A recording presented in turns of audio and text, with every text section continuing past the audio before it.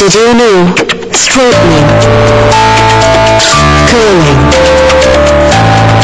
Blow drying. Can cause hair damage.